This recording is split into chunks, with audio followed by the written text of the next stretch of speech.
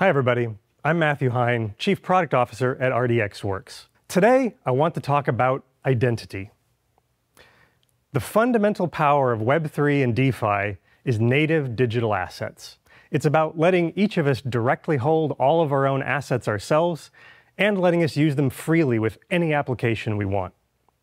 Native digital assets can let us invest and collect and transact with each other as freely as we can communicate. But developers in the Web3 space are quickly finding out that the other half of building this vision is native digital identity. Without ways of representing identity that are tightly integrated with dApps and smart contracts, Web3 and DeFi are going to stay stuck inside today's tiny crypto bubble. For example, finance has always gone hand in hand with identity. That's why institutional investors worth over $60 trillion are locked outside the crypto bubble today. As much as they want to come in and play, they cannot bring their capital and know how to DeFi because they have hard legal requirements to only interact with systems that can automatically enforce certain restrictions based on identity. So without institutional grade identity on the L1, that $60 trillion can't flow into DeFi. There are lots of examples like that of why Web3 and DeFi need identity. That's why the winning blockchain platform will be the one that finally does it right for both digital assets and digital identity. And that means a platform that deeply integrates identity while also providing the right developer experience, user experience, and scale.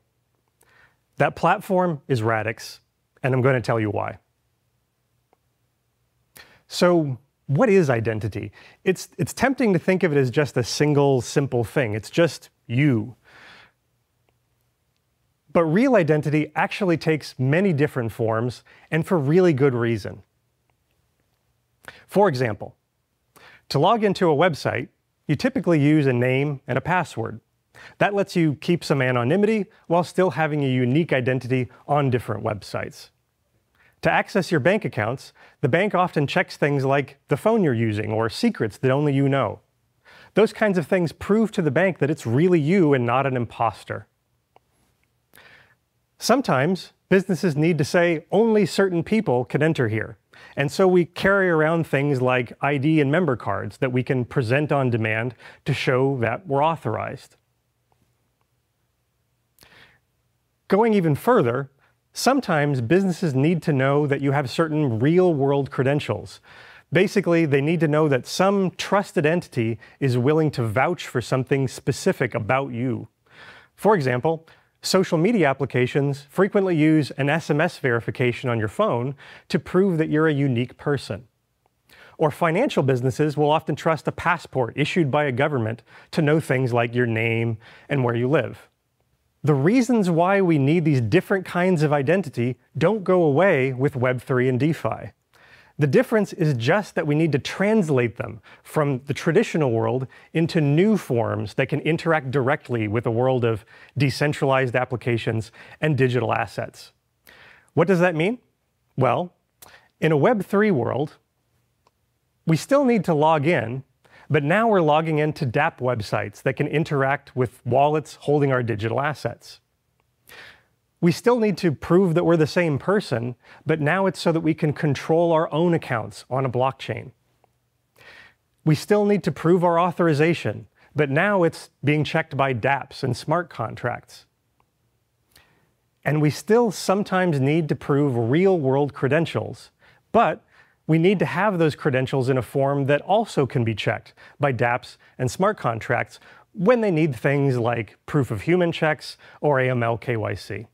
Unfortunately, today, the standard blockchain way of creating these different kinds of identity is really limited. Basically, today's blockchain platforms don't provide specific tools for identity. And so there's basically just one model they use for just about everything. And that model is you are your account. Your account is controlled by a single seed phrase or private key, and you can use that private key to prove that you own the account. That's it. So, you know that WorldCoin sphere that we're all supposed to look into to get a blockchain identity? In the end, that's just a company doing a retina scan to control access to a single private key. In the end, you are your account is a really limiting form of identity that creates a lot of problems. A big one is that you're stuck tying together who you are with what you own. It's like if you had to use your bank card to log into websites and board flights. In that kind of model, it's really hard to use different identities in different places. It also means that you can't freely mix and match which assets you want to share with what application. It's also a really risky way of doing things. Your entire identity, for any purpose, is forever locked to this single account and the single seed phrase that controls it. If you lose that seed phrase, there goes your entire identity. And last, when we're looking ahead to more mature applications that need real world credentials, it's really unclear how we can even do that in this you are your account model. So clearly, we need a better solution. We need ways of creating specific forms of identity for specific purposes.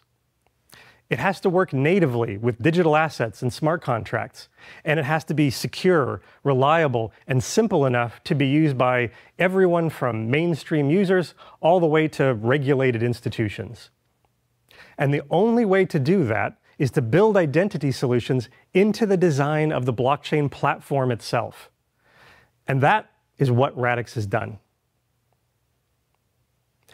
The Radix network has four purpose-built solutions for identity, and they're all deeply integrated with the Radix engine and Scrypto for great developer experience, and with the Radix wallet for great user experience.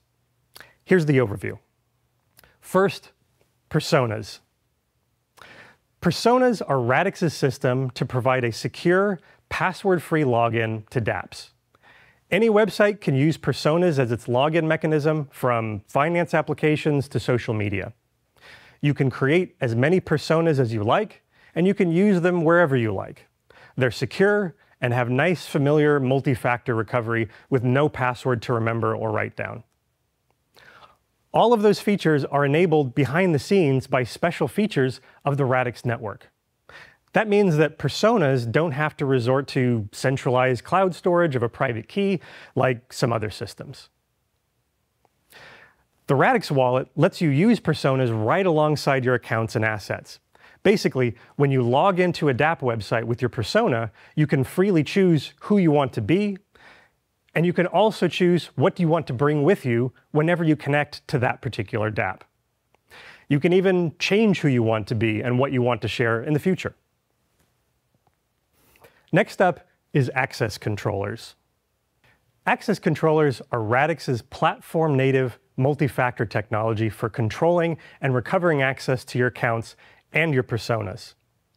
They make it possible to control Radix accounts and assets with the same sort of user experience that you're used to from a bank. That's why on Radix we call them smart accounts. With smart accounts, signing transactions can be as simple as a biometrics check on your phone. Or it can be configured to require multiple factors for extra peace of mind. But if you lose your phone, it's not a problem because the access controller lets you change the locks on your accounts to migrate control to your new phone. And nowhere in all of this are you forced to write down and protect a seed phrase that controls everything. Unlike many multi-factor systems being applied to blockchain accounts on other networks, there's no centralized party behind access controllers. They're platform native components on the Radix network. And the Radix wallet will start making use of those multi-factor features this year. Third, we've got badges. Badges on Radix are essentially a convenient tokenized form of things like ID and member cards. The Radix network includes a built-in auth system that's designed around the idea of presenting badges to prove that you, the holder of the badge, are authorized to do whatever you're trying to do. Basically, this means that a smart contract can pass out badges to certain users and define what things those badges grant access to. For users, the experience is super simple. If a dApp needs you to present a badge for a certain transaction, in your Radix wallet, you'll see it right there on your transaction review screen in a section labeled Presenting. It's pretty much the digital equivalent of flashing your ID card at the door and being waved inside by a security guard. If you're a developer, badges mean that you can quickly and intuitively define secure and flexible authorization for your smart contracts. You can set auth requirements that range from simple user ID badges all the way to corporate style multi-level auth structures, all without any custom auth logic code. Okay, last we come to a form of identity for real world credentials. And for those of you who are already following Radix, this is all new stuff. As DeFi expands, there's no question that real world credentials are going to become more and more necessary. A dApp might need a simple proof of human check, it might need to check AML KYC status, or it might need to check for something like qualified investor credentials.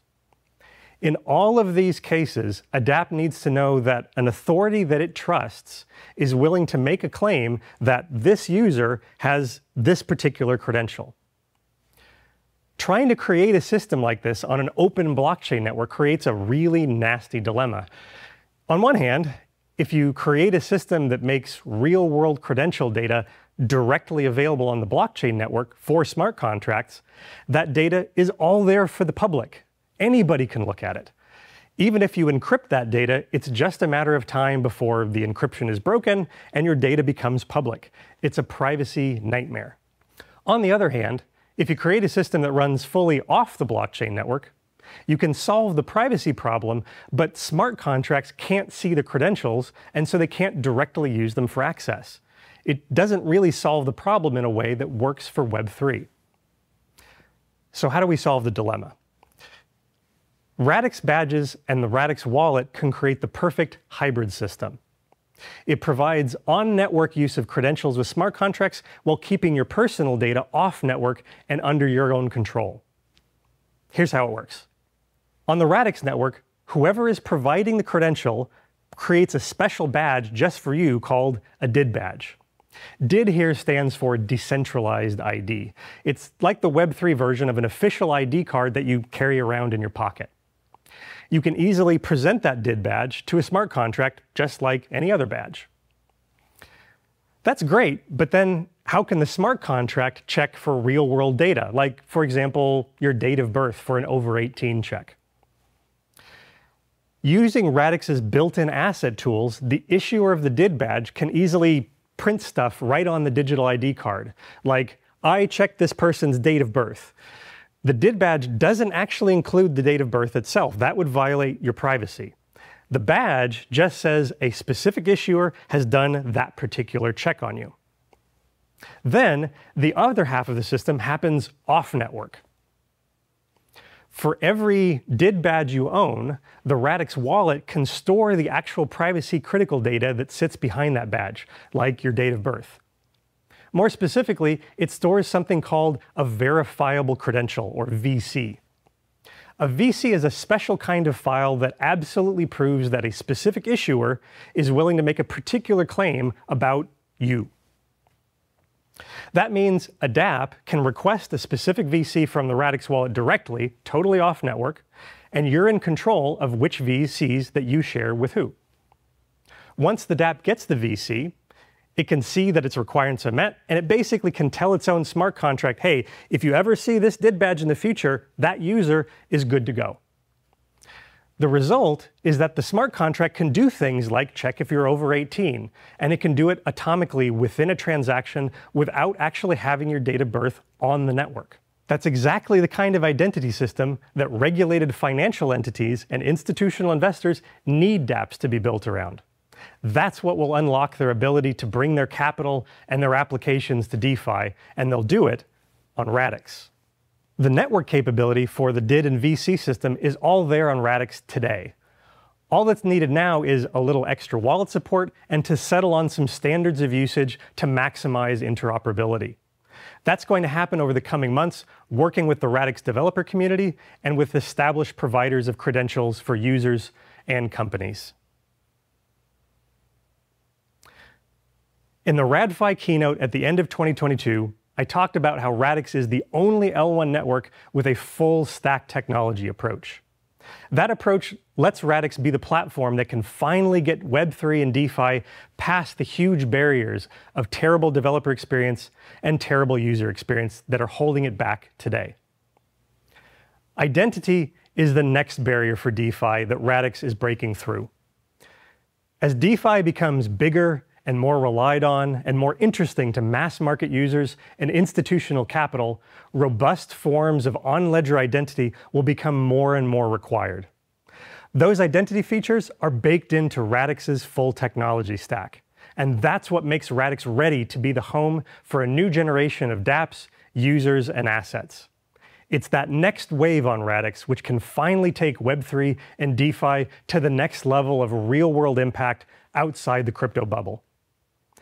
Whether you're a crypto trader, a developer, or an entrepreneur with a great idea, we invite you to come download the Radix wallet, check out some dApps, and experience how much better Web3 can already be on Radix.